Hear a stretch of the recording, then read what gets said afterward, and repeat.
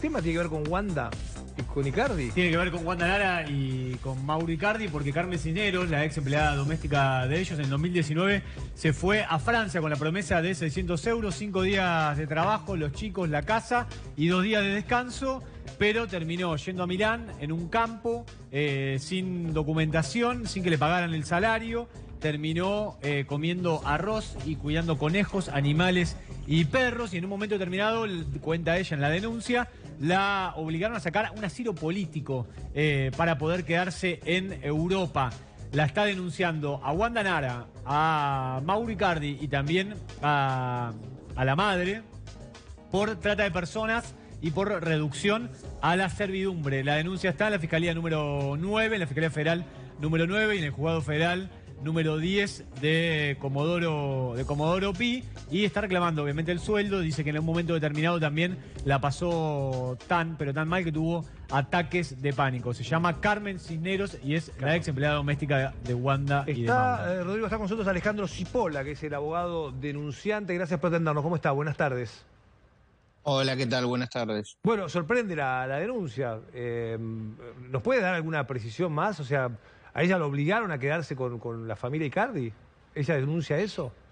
No es solo que la obligaron, sino que al no abonarle, dejarla sola en un país extranjero, la dejaron sola en Italia, en una casa en donde tampoco le brindaban alimentos, eh, no hablaba el idioma y también se le, se le decía todo el tiempo que no podía salir porque era a donde la agarraba la policía la iban a, detener y posteriormente deportar. Así que vivía en un estado de pánico constante hasta que en el 2021, ante tanto, tantos reclamos, eh, bueno, eh, consiguió en una funcionaria, eh, la familia Icardi, que, los, que la llevó a ella hasta, hasta una oficina para pedir un asilo político que bueno, pidió el asilo político, le dieron la documentación y a la espera de que se lo otorguen, jamás se lo iban a otorgar, ¿no es cierto? Porque no había razón de ser, inclusive cuando empezaron a preguntarle mucho, después la retaron porque dio el domicilio de Wanda y, en los informes de, Italia no, no, podían comprender cómo una persona con asilo político podía eh, vivir en, ese lugar. Doctor, eh, ella cuenta, le quería hacer esta consulta, ella cuenta que en un momento determinado le borró Wanda Nala el teléfono celular, todas las conversaciones, fotografías y lo que había documentado? Todo le borraron eh, para una vez que la mandaron, inclusive en el aeropuerto. Eh, después eh, Wanda Nara lo subió a sus redes sociales. la madre de ella escribió una carta diciendo que los periodistas mentían, que Wanda era buena y que no se le adeudaba absolutamente nada y la obligaron a firmar dentro del aeropuerto. Inclusive hay muchísima más documentación también que le hicieron firmar, que claramente que espero que la presenten, así pido la pericia, eh, que va a salir de, desde qué fecha es eh, que está escrito, y la de la carta particularmente, yo ya la extraje de las redes sociales, inclusive varios portales la subieron para pedir una pericia caligráfica y ahí voy a poder mostrar que no fue escrita por, por la señora Carmen. Eh, ahí ya tenés todos los indicios de que querían borrar todo tipo de, participación, inclusive cuando empieza a trascender de que Carmen se quería regresar a la Argentina, que ya desesperada, sin comida, eh, en, una situación precaria, empieza a hablar con periodistas, es que Wanda llega a la Argentina y dice directamente que no tenía ninguna empleada doméstica llamada eh, Carmen, ni Carmela, ni absolutamente nada. Llegó hasta tal punto la, situación de tratar de negarlo o, de solucionarlo de algún modo, y creo que quisieron cubrirlo después eh, enviándola y borrándole toda la información, pero eh, lamentablemente varias, varias cosas o varios chats, eh, ella ya los tenía, se los había enviado a la amiga y también tengo los audios de ella y las conversaciones con otras personas. ¿Usted los tiene los audios? Tengo todo, absolutamente ¿Y qué dicen los audios? ¿Los podemos escuchar? Ellas, sí, sí, se pueden. No sé si creo que se los había enviado. en uno está llorando, diciéndole a la amiga que, que, venía comiendo arroz, hace, racionalizándolo encima. Hacía ah, pero son audios de Carmen, pero no son audios de Wanda, digamos, son audios de Carmen. No, de, de Wanda tengo los audios de la documentación, es decir, la defraudación al Estado italiano y poner en, una, una, situación de vulnerabilidad cuando le habla de la documentación.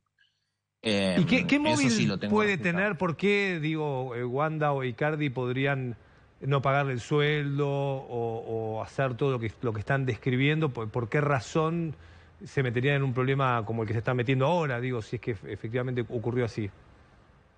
La verdad es que es inexplicable. Eh, ya igual, de principio, eh, está prohibido llevar eh, trabajadores a Europa que no sean esenciales y menos sin contrato laboral. Y en segundo caso, no es la única, hubo varios testimonios, nada más que no hicieron denuncia. ¿Es un modus operandi o no sé qué le habrá pasado por la psiquis para tener una persona en semejantes condiciones? Ella pidió eh, asilo político, eh, le, dijeron el matrimonio de Cardi que pida asilo político en Italia, entiendo que está ese documento también, ¿no?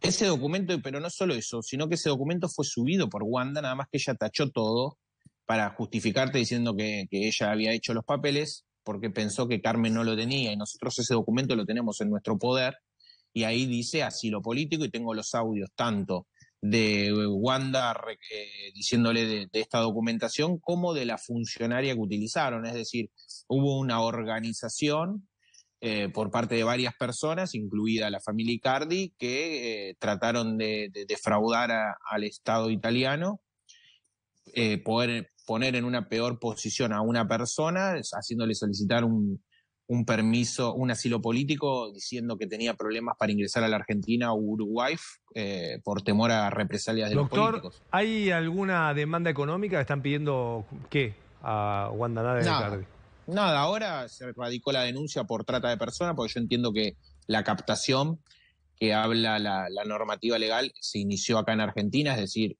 en el 2019 Wanda la llama con las falsas promesas de, una remuneración eh, y un contrato que no sucedió, así que nada. Pero seguramente habrá, hecho una cuenta usted, digo, ¿cuál es la demanda económica que le van a hacer? Y una vez que yo pueda iniciarla, y va a ser aproximadamente arriba de medio millón de dólares de lo que se le debe, más todos los daños psicológicos y, los perjuicios que le, que le ocasionaron, ¿no es cierto? Medio millón de dólares es el reclamo de eh, Carmen, la empleada de Wanda Nara e Icardi. Gracias, doctor, eh, por eh, habernos atendido. Muchísimas gracias a ustedes. Bueno, ahí está una de las historias del día, ¿no?